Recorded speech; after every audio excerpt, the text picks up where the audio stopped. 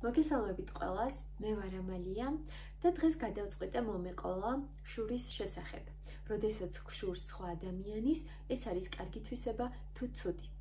ბავშვობიდან მოყოლებული დღემდე ძალიან ბევრი ქსმენია იმის შესახებ, რომ თუ შეგშურდება სხვა ადამიანის, ეს არის საშინელება, ეს არის ცუდი თვისება და არავითარ შემთხვევაში არ უნდა შეგშურდეს სხვისი.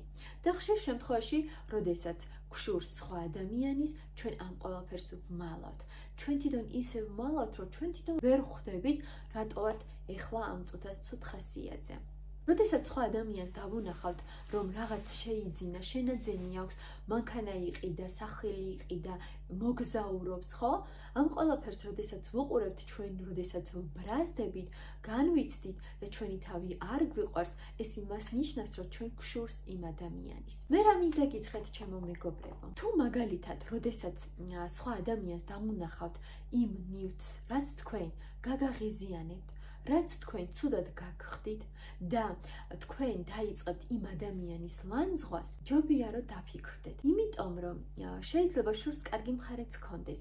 ნახეთ ჩემო მეგობრებო, თქვენ როდესაც განიცდით და ნერვიულობთ, ეს იმას ნიშნავს, რომ თქვენ ეს გინდათ.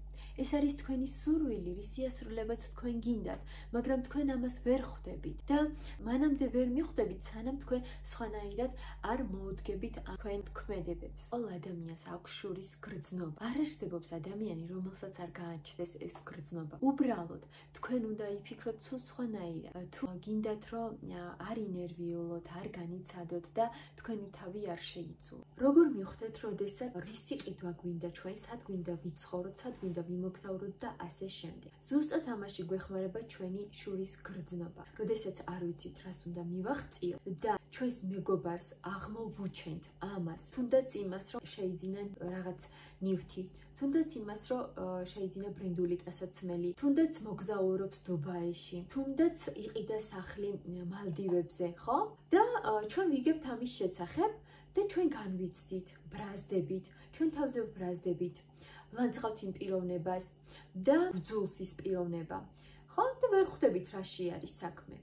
მე მინდა გითხრათ იმაში არის რომ თქვენ ზუსტად იქ გინდათ აღმოჩნდეთ, სადაც თქვენო მეგობარმა იყიდა სახლი. ზუსტად იმ ნიცის ყიდვა გინდა თქვენ, რომელიც თქვენო მეგობარმა იყიდა. ამიტომ პირიქით თქვენ მადლობა უნდა გადაუხადოთ იმ ადამიანს, ვინც დაგანახათ ის რისი მიღწევა თქვენ გინდათ.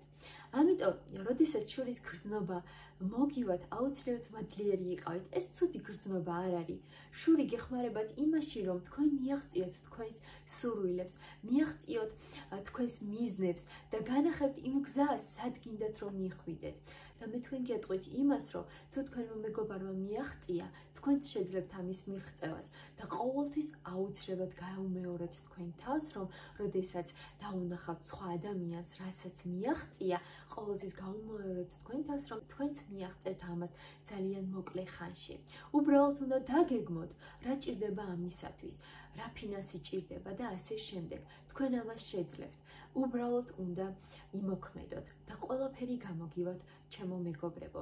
ამიტომ, როდესაც შეგშურდება სხვა ადამიანის, პირველ რიგში იმაზე იფიქრეთ, რომ უი, აი ჩემი სურვილიც, მე ამას მინდა რომ მივახცი. აგიხარდეთ იმისი, რომ თქვენო მეგობარმა შეიძინა იქ სახლი და სიხარულით ახთოვანებული იყავით.